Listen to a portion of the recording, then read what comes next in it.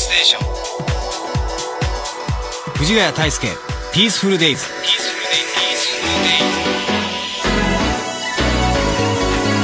こんばんは藤ヶ谷太輔です。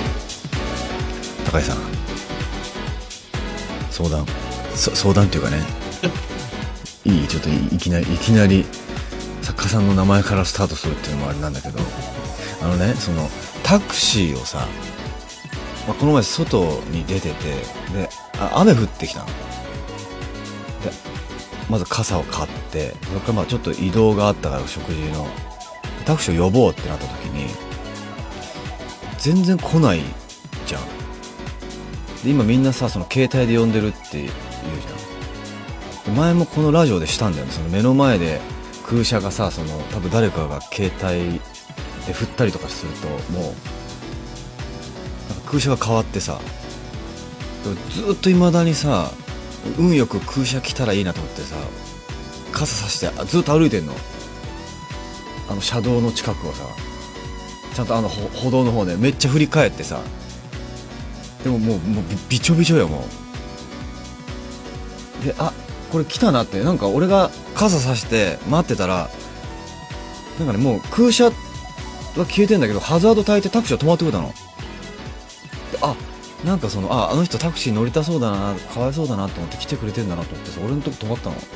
で扉ピーって開いてうわなんかすげえ優しいと思ってこういうアプリとか使わなくてと思ったら俺のさその後ろにさあのまマンションのエントランスあってその方が呼んでたの。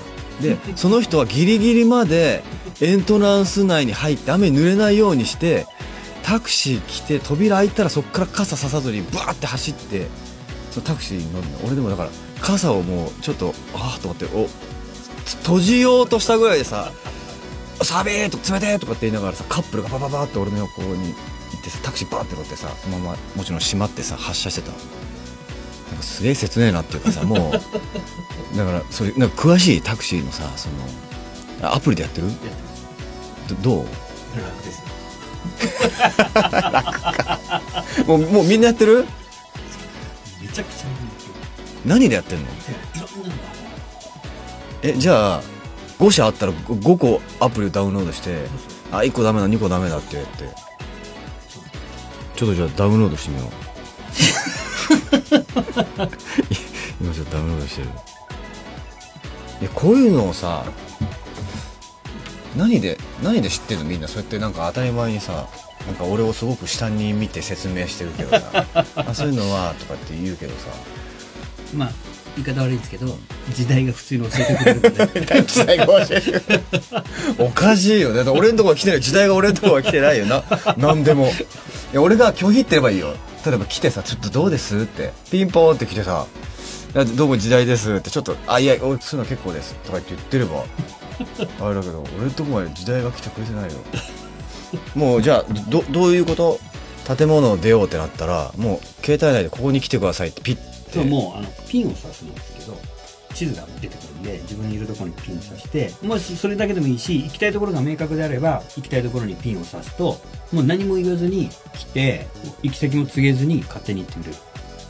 あめちゃくちゃ楽。ああそれだったら俺今年 LA 行った時やったやつだ。あそうあの海外も全然使えるんで。あじゃあ早いわみんなより。俺 LA でやってるそれ。え海外ウーバー多いよね。うんうん。あやってたわ。あじゃあ全然遅れても何でもないわ。やってる「はい」っつって名前言って。うん逆に早かった。だから俺時代時代を越しちゃってたんだね。あそういうことか。だから違う違う違う。分かった分かった。なるほど。なるほどね。分かったわ。俺が遅いんじゃないんだ。早すぎたんだもう全然 LA で使使いまくって毎日。ピンを。それ今年でしょ？うん？今年？去年？や今年。あでも、あれいつだっけニューヨーク行った時も。った？コロナ前コロナ前。ニューヨーク行った時に。やった。うんあの次男に教わって。あごめんやってた。わごめんなんか すごいちょっと嫌な感じに聞こえちゃうかもしれないけど。だいぶ前俺ニューヨークでやってたし。なんだあそれが日本にもあるわけねあそうなんだ。言ってよ。あじゃあ結構ま盛り上がってる日本で。盛り上がってるあよかったよかったよかった。いや海外行った時にこういうのも日本にあればいいなって思ったのよ。でもあんまり俺はなんか言っちゃうとさ鼻につくじゃん。なんかちょっと行っただけでこういうのサービスも日本でとかって。だから俺グッと来られてたんだけど。もう流行ってんだ。あよかった。安心した。追いついたのやっと。よかったよかった。じゃあはじ始めていい？ラジオ さああなたと過ごす262回目の夜最後までよろしくお願いします。今夜の1曲目です。5月8日リリースのニューアルバム「シノプシス」のコンセプト楽曲です。コンセプト楽曲って言い方なんだね。もしかしたらあそうかだからいい俺の口も言い慣れてないってことは多分芸能人の中で一番最初言ってる可能性あるね。これじゃあハッシュタグコンセプト楽曲でしょ？今今バズってんじゃないの？この。なんだそれって。早いな。キスマイ早いな。特に藤ヶ谷早いなって感じでしょ？それを藤ヶ谷に言わせるメントのスタッフさんもすげえな。あれこのアルバム買おうってなってると思う今コンセプト楽曲。そうね。あのまあなんか僕らもそのアルバムで、まあ、何曲かこう選ばせていただくときにこれをリード曲にも、まあ、全乗っかりじゃないけどこっからスタートしようっていうのもあれば、まあ、これはアルバムの象徴とする曲だけど今のキスマイを見てもらうためにはテレビで歌唱する時こっちの曲にしようとかでもライブのこの大事な勢いづける時はこっちの要はリード曲にしようとかなんかいろいろそういうのああんだよね。今回だからコンセプト曲ということですね。キスマイフット2で「ラブドワン」お送りしたのはキスマイフット2でラブドワンでした。藤ヶ谷太輔ピースフルデイズ。キスマイフット2藤ヶ谷太輔がお送りしています。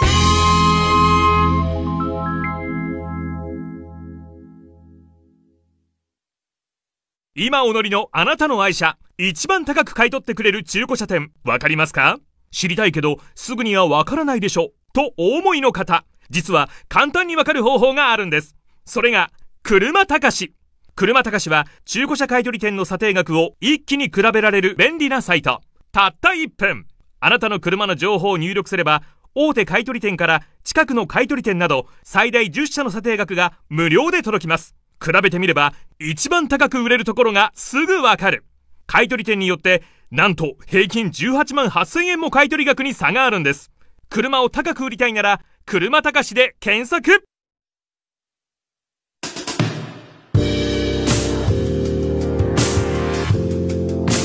あなたと過ごす土曜日の夜。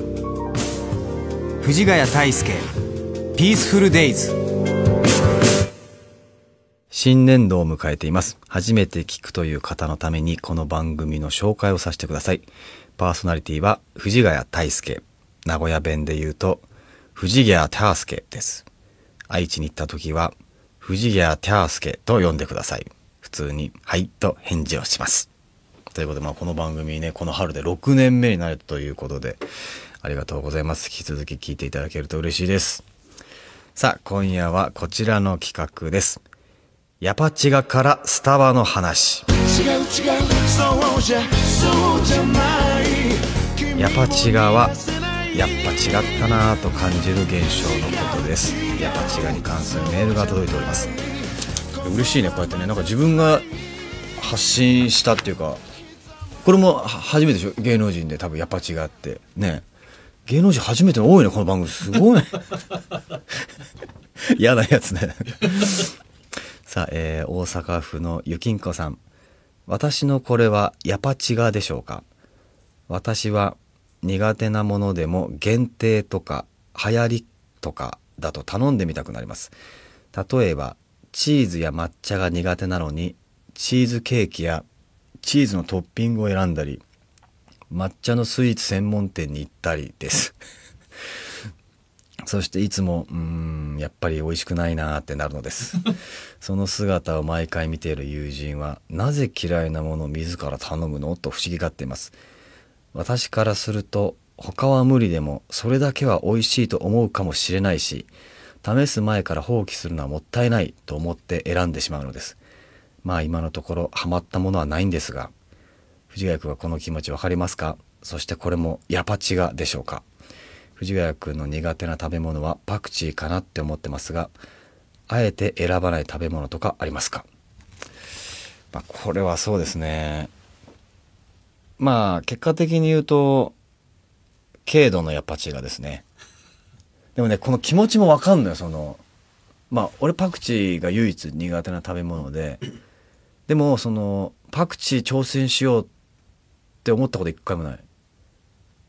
からじゃあじゃあパクチーケーキとかあったとしてもあこれ行ってみたらこう克服できるかなとかもしかしたらこのケーキだけ食べれるかなとか思ったことは俺は全くないから全く頼まないけどでもねこの自分もほら仕事でさなんか食事をした時にさ、うん、とか店員さんにこうね収録中に勧められてうちはチーズ専門店ですけどうちのこのチーズだけは、え例えばチーズが苦手な方も食べれるチーズですとかさなんかそういう紹介あるじゃん。でまあ俺食べるの？俺チーズまあ好きっていうかまあ一般的だからさ。あ確かにって思う節ももちろんあるの。なんかすごく濃厚ななんかガッてくるチーズでもないし。あこれだったら苦手な方も食べれると思いますとかって俺俺もなんか言っちゃう時あるけど。だからもし俺が苦手だったらちょっと俺チーズ苦手なんでってでそれで食べてああこれだったらいけますっていうの本当に出会えたらでもなんか人生膨らむじゃん。今までチーズダメって完全に聞いてたけどあそこのお店のあのチーズだったりとか。でもそういうのさあのあるよね。あそこのお店の生ものだったら食べれるっていう。あるよね。だからトライしていけば出会えると思う。でも毎回思うよね多分ね。あこれ今回いけるかないけないかな。でも行ってたらいいじゃんね。どっかで必ず出会えますよ。東京都のリンさん。え先日スタバのフラペチーノの注文についてお話ししてましたよね。放送を聞いて私もスタバに行きたくなり会社に行く前に立ち寄った時のこと。今日はスターバックスラテを頼もうと思っていたのにレジでお兄さんに「無料でミルクを変えられますよ」と言われてつい「アーモンドミルクに変えます」と言ってしまいました。会社で席について一口飲んでみてやっぱり違った。普通のスターバックスラテにすればよかったと思いました。初子貫徹しないとダメですね。いやほんとそう。これ意志を強く持つとか持たないとかじゃなくてこうふらっとスタバに行ってコーヒーを頼んでる時にその店員さんがすごく優しいさフラットな感じでさ「無料でミルク変えられますよ」って言われるとなんかこう瞬時に答えちゃう時あるじゃん「あじゃあお願いします」とかで、かしこまりましたってなって、そっから一人の時間になるじゃん。コーヒーが来るまで。で、あちらのランプの下にって言われてさ、だいたいランプの下に運ばれるわけでしょ、その、ずれてる間ぐらいに、ふとなんか冷静にっていうまでは大げさかもしれないけど、一人になった時に、なんかそこで考えるね、やっとね。わかる。で、それでもう次こそは、もうミルクは変えずにって、相当な、強い意志でいかないとやっぱスタバの接客ってめちゃめちゃいいじゃん。だから変えられますよって言われちゃうとやっぱ相当持ってないと「あお願いします」って多分またなっちゃうから。相当もうミルクを変えないんだという強い意志を 意志を固めもう睨みを利かせもうあなたがどんな爽やかにミルクを変えてこさせようとしても私は変えないっていうつもりで強い意志を持ってスタバに挑んでほしいと思います。ではこの後もですねスタバメール来ているので紹介します。藤ヶ谷大輔ピースフルデイズ日本放送が FM でも聞けるって知ってますか？周波数は FM93MHz FM ならビルやマンションでも受信しやすく雑音の少ないクリアな音で聞くことができておすすめです。トライ FM93 ぜひ FM93 で日本放送をお楽しみください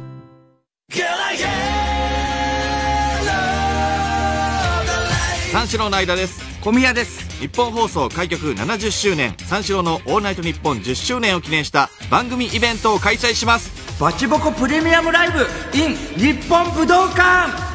俺は楽しみ。君たちはどう？ただいま番組公式ファンクラブバチボコプレミアムリスナーにてチケット先行受付中。詳しくはイベントホームページまで。11月24日日本武道館ラジオの未来は三四郎が背負った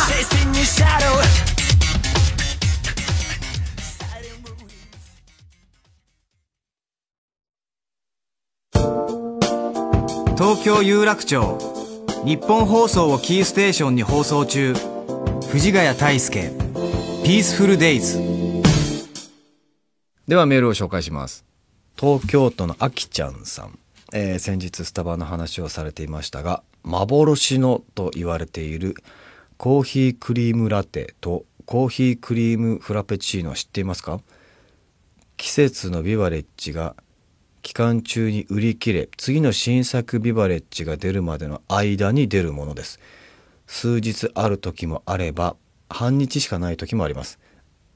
私は数回出会ったことがありますがめちゃめちゃ美味しいです年に1回あるかないかなので出会ったら迷わず立ち寄りますし季節物を頼むつもりで行ったけれどなくてコーヒークリームの表示をレジで見かけたら季節のものは頭と口から消えます。もう絶対おすすめなので見かけたらぜひ。全然知らないけどめちゃめちゃなんかや飲んでみたいなって思った。あのレジのところでもうちっちゃいシール貼られてるねソールドアウトっていうさ。あれが変わってるってこと？そのコーヒーフラペチコーヒークリームラテとコーヒークリームフラペチーノになってるってこと？これちょっと試してみたいな。でも結構通わないとダメだよ。毎毎日っていうかその通勤の時に朝もルーティンに入ってればだよね。たまに行くと出会えないでしょ。俺さそのちょっとたまにでさスタバの話なんだけどさあの星の書いてるスタバあるじゃん。星分の星分のスタバあるじゃん。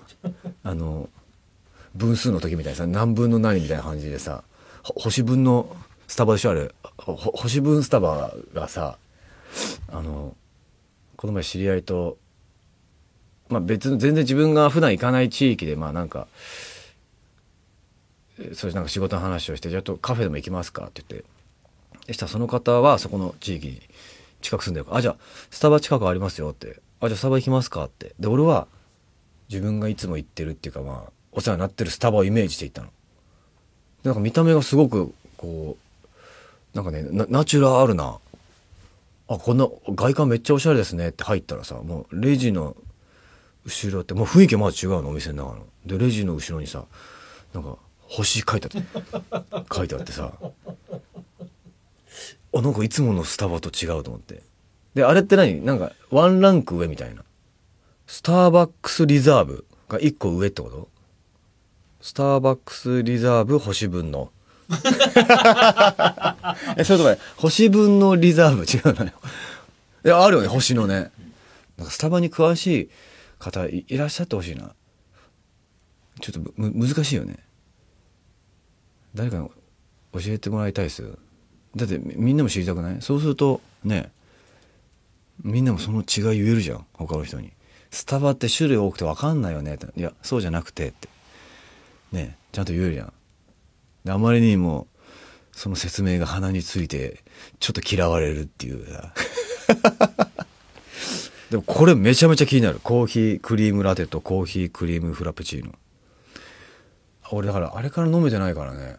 桃は飲めたんだけど桃の次から。桃の前も飲めてないし。今今何かも。桜売り切れてた。結構早めに行ったんだけどな。あ違う違う。俺桜飲んだ。桜飲んだわ。多分芸能人で一番最初に飲んだ桜。あ桜飲んだ。であのいやすごい美味しかった。あのなんかね不思議な感じしたそのコーヒーなんだけどその桜の風味がちゃんと香りでファーっとくるっていうなんか苦味とこの酸味じゃないんだろうけどであのねプラスその桜の季節のさあのフード？桜ドーナツとあとあのさなんかちっちゃいおまんじゅうしてる？おまんじゅうみたいな。あちょっと待って知らないの？なんかさっき、ゴータクシーを、俺のこと下に見ながらゴータクシーの説明。あれ知らない？スタバの。ああ、あれ美味しいよね、あれね。ああれさ、なんかも、もっちもちなんだよね。あ、そうそう、もっちランボール。結構、あの、個数もあって、で、あんも、その、そこら辺のなんか安いのビュッて入れた感じじゃないの。しっかりと。そう、それもね、すごいいいい香りして美味しかった。なんか、佐々木くん、食べたそうな顔してるね。なんか、食べてみたいな、みたいな。今あるかなどうなんだろうね。まあ、俺は結構ほら、芸能人早く一番最初に食べたから、今どうだろうね。今この時期的にね、もう、もうすぐ4月になろうとしてる時でしょ今これ録音だからさ。で今まだ桜かなもう買っちゃった？え、今、さ俺桜を飲んだ？い今のやつは？飲んでない。今は飲んでないけど、いや、でも今日飲むのよ、これ、これから。本当に。いや、むしろ今マネージャーさん書いてくれてんじゃない？どう？何？ピンクフルーツチアアップ。飲んだことある人いる？誰もいない。このさ、なんか、いいよね、この、なんていうの？このくだらなさいいよね。その新作出たら、一番最初に飲んだ人がかっこいいな。でこれってさ、あの、お、美味しい人気のやつとかはもう、次の季節ももう一回来たりするのかな？あ、なんかそういう気持ちになるのね。もしかしたら一生出会えないかもしれないから、飲んどこうというのはあるね。これも多分今、ここのスタジオにいるみんなはもう誰よりも早くスタバ行って一番に飲んで自慢自慢してやろうってなってるね。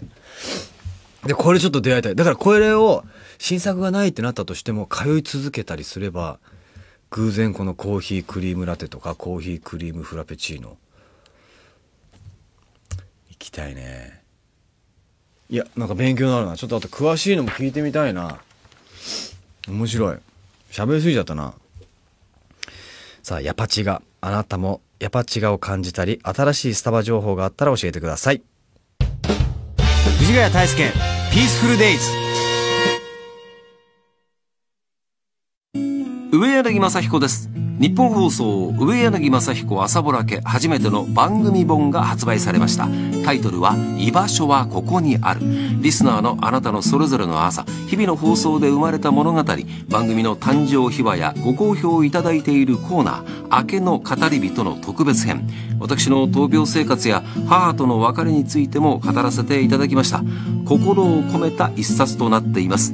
ラジオの番組を一つの居場所として集う人々の物語。番組本「居場所はここにある」お買い求めは朝ぼら家の番組ホームページのバナーからぜひどうぞ。なあ藤田。番宣やってみていいか？じゃあ20秒に収めろよ。忍びねえな。構わんよ。我々トータルテンボスの抜き差しならないとは毎週月曜日に配信中。普通の40代のおじさんの会話だと思って聞くと面白いでも芸人のラジオだと思って聞くとさほどやめちまえそんな番組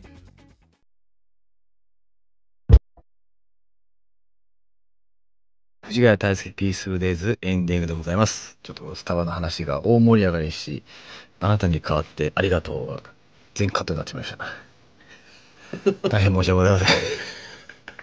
今さ、これ新作見させてもらってるんだけど、この、キャラメリーミルクコーヒーフラペチーノと、こういう甘いのと、ピンクフルーツチアップ。どうしようかな。この後すぐ撮ったら行かないとさ、やっぱ新作を芸能人一番早く飲んでる人になれないから、終わったらすぐ行くんだけども。いや、でも美味しそうだな。いいっすね。さあ、お知らせです。えー通算10枚目となるアルバム、シノプシスが5月8日リリースです。そして、透明版の三大ドームツアーを開催いたします。ワウワウでは、キスマイフット2が4ヶ月連続で特集、アリーナツアーファイナルの東京公演が独占放送独占配信でございます。チェックしてください。番組ではメールをお待ちしております。コーナーは、ふつおた、青春の教科書、全部前向きにします。若者言葉、ニューエラと私、参加できるものがあればぜひメール送ってください。ガヤアットマーク 1242.com、gaya アットマーク 1242.com、件名にコーナー名を書いていただけると助かります。普通のお便り、曲のリクエストもお待ちしております。ラジオの前のあなたとはお別れです。お相手は藤ヶ谷太輔でした。また来週。バイバイ。この後日本放送では中居正広さんの番組 ON & ON AIR です。中居さん、ゴルフでキャリアハイのスコアを出したとか、ハーフで39。その場にいることができたら、サンキュージャンを歌いたかったです。次回ぜひ立ち会わせてください。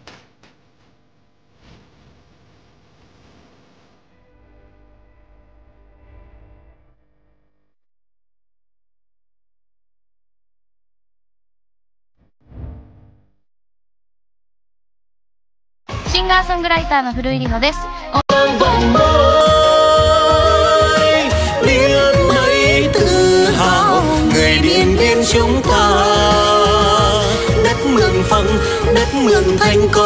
Khi bao khách về đây, ngắm mà say sắc hoa bên lưng đồi.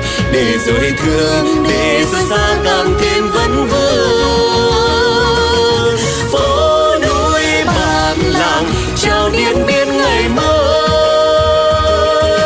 Những đêm nhà sàn, mùa mang thêm ấm no.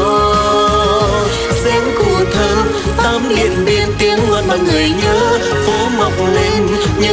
cao sáng trên trên bầu trời. Người điện biên vì tương lai, cũng đã kết hoa trong sức xây đời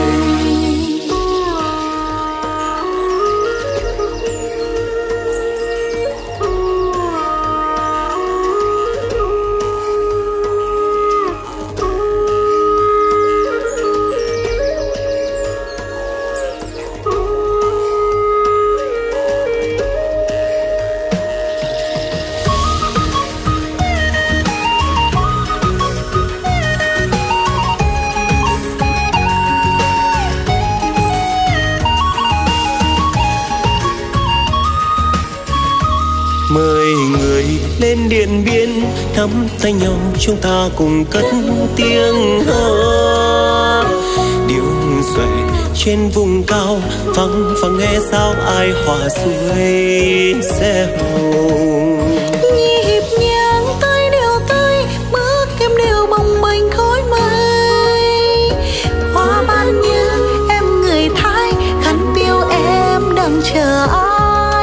khoe sắc màu váy lung linh, em gái mong mình đó trai gái đều rất xinh tươi, những đóa hoa của núi rừng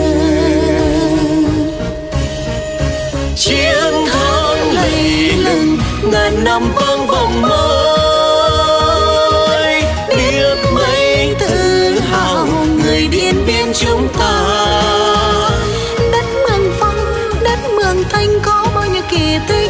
Khách về đây, ngắm mà say sắc hoa bên lưng đồi. Để rồi thương, để rồi xa càng thêm vấn vương. Phố núi bản làng, chào điện biên ngày mới. Những nếp nhà sàn, mùa mang thêm ấm no.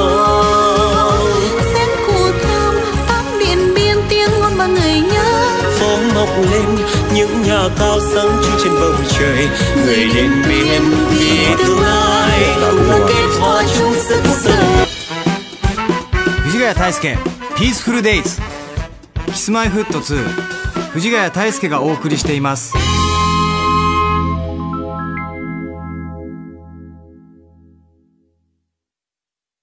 今お乗りのあなたの愛車、一番高く買い取ってくれる中古車店、わかりますか知りたいけど、すぐにはわからないでしょ。とお思いの方、実は簡単にわかる方法があるんです。それが、車高し。車高しは中古車買取店の査定額を一気に比べられる便利なサイト。たった1分。あなたの車の情報を入力すれば、大手買取店から近くの買取店など最大10社の査定額が無料で届きます。比べてみれば一番高く売れるところがすぐわかる。買取店によってなんと平均18万8000円も買取額に差があるんです。車を高く売りたいなら車高しで検索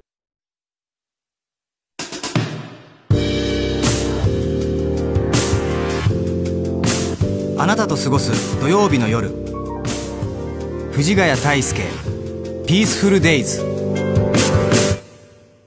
新年度を迎えています。初めて聞くという方のためにこの番組の紹介をさせてください。パーソナリティは藤ヶ谷大輔。名古屋弁で言うと、藤ヶ谷大輔です。愛知に行った時は、藤ヶ谷大輔と呼んでください。普通に、はいと返事をします。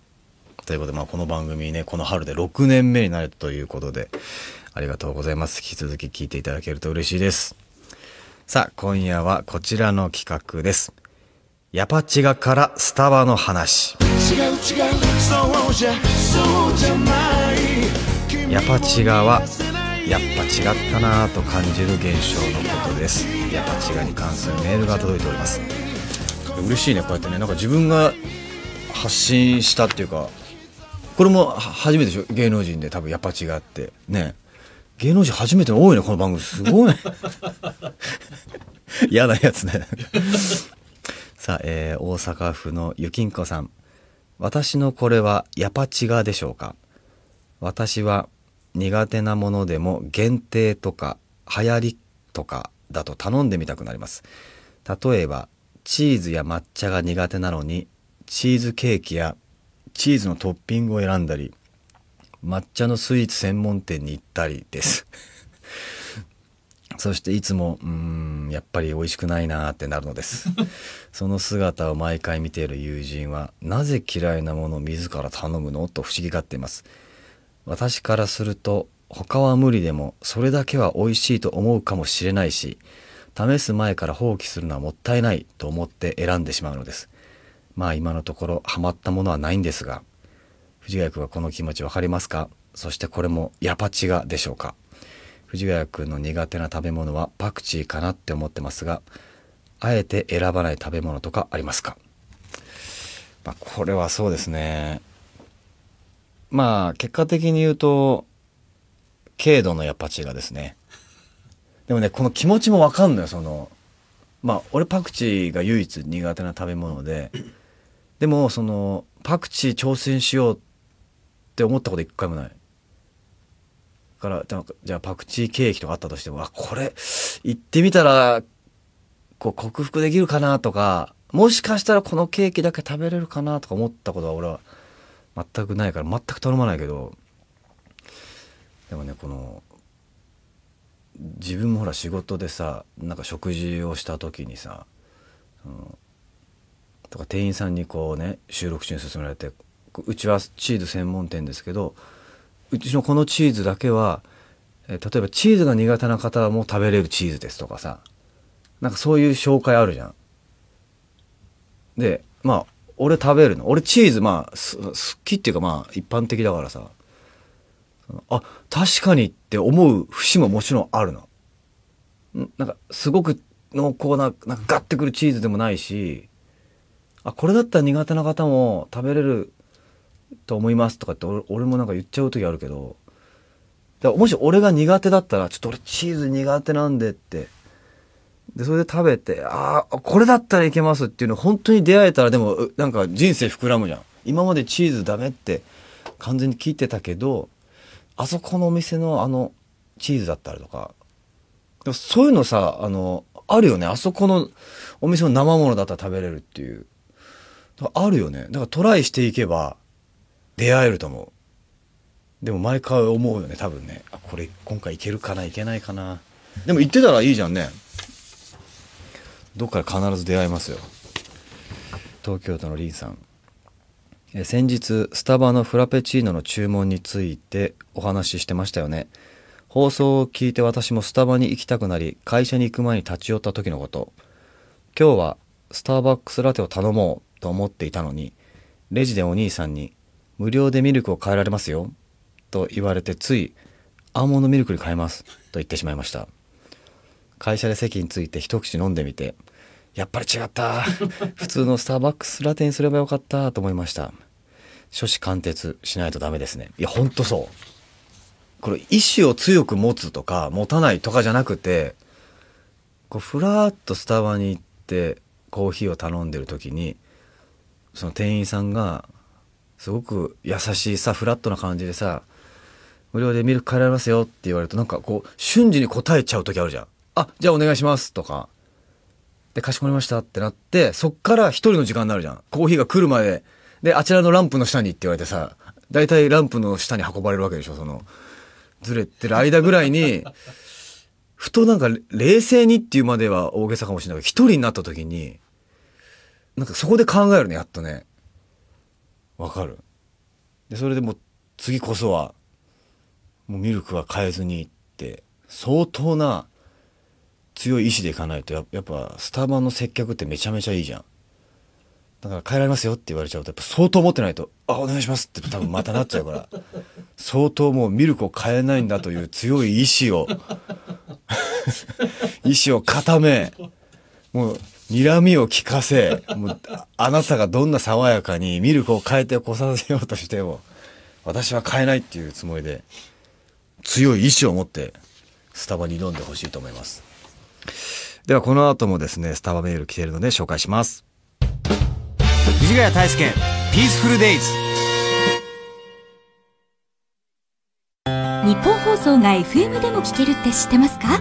周波数は FM93MHz FM ならビルやマンションでも受信しやすく雑音の少ないクリアな音で聞くことができておすすめです。トライ FM93 ぜひ FM93 で日本放送をお楽しみください